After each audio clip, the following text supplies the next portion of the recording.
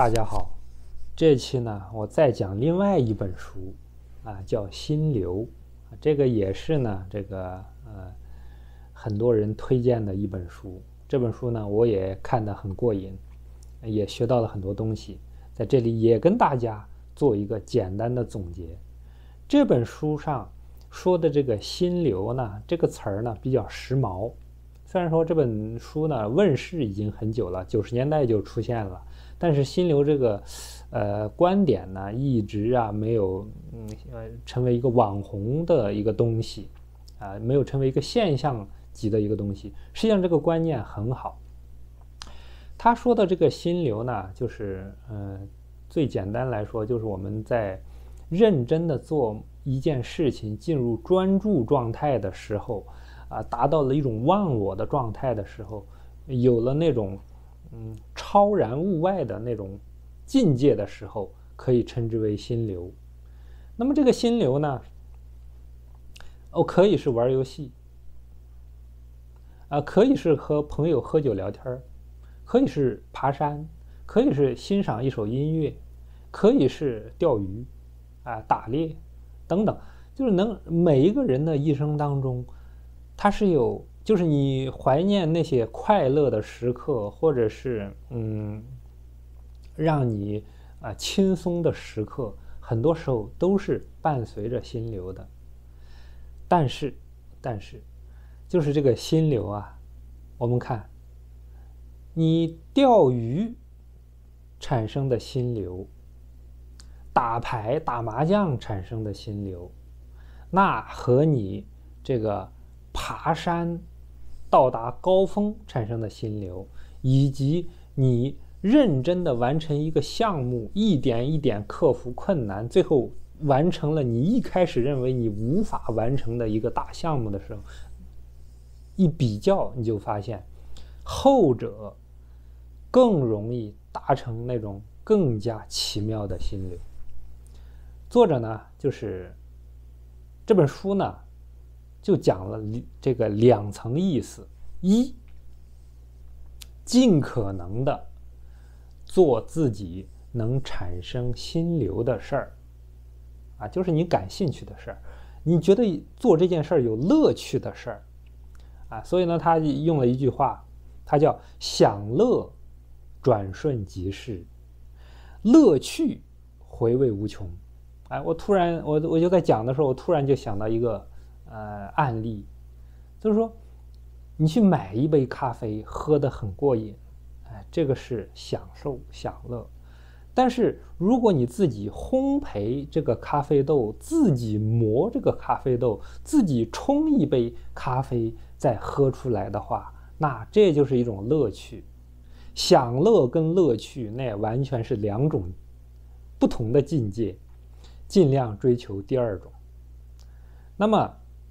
心流，我们也说了，你玩游戏也能达成心流啊，玩的，呃，不亦乐乎，这个身临其境，在虚拟世界当中。但是呢，你做一件真正伟大的事儿，我们就比方说价值投资吧。在价值投资当中，呃，你买了一个好资产，然后呢，不断的看着这个资产。啊，起起伏伏，大起大落，然后呢，你能忍住，按照你的初心，啊，能不动如山，最后取得了一个长赢的投资。我们就说这个简单的这个例子，这两种，你说，玩游戏，你最后得到的多吗？但是你这个投资，你也是中间会克服很多。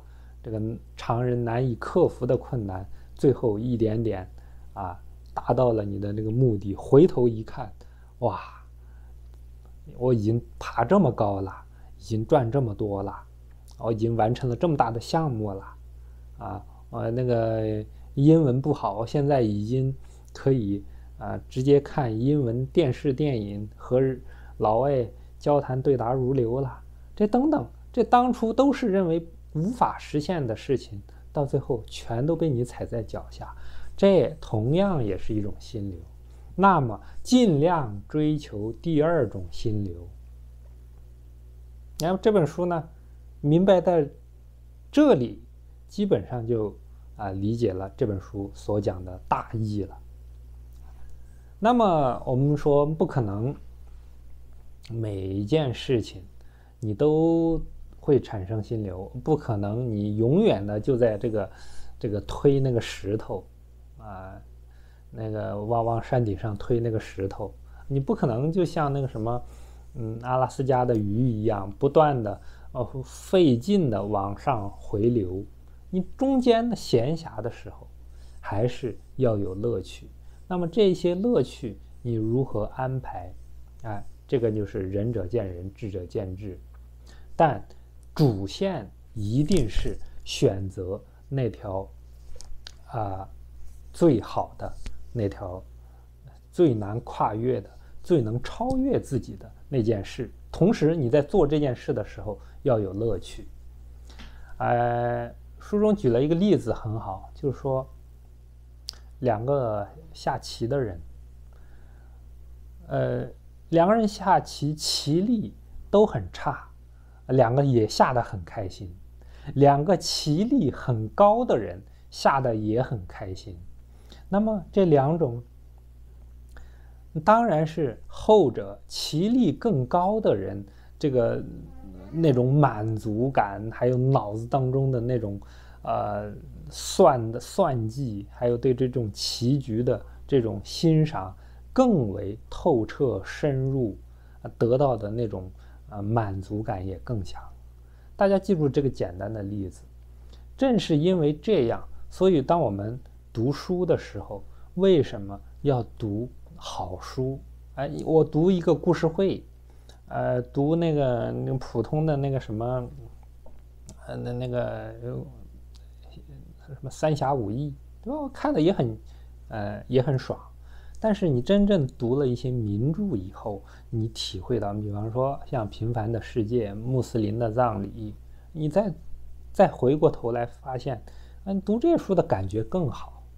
是吧？有可能就是能读完这本书以后，我就感觉，啊，我感觉我已经明白世间所有的道理了，啊，就有这种感觉，已经不需要再读书了。当你有这样的体验的时候，那就对了，那你真正进入了心流状态。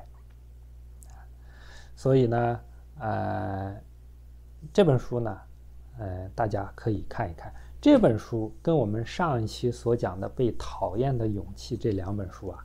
结合着看，先看被讨厌的勇气，呃，再看这个心流，哎，这两本书结合起来就很完美了，啊，好，谢谢大家收看。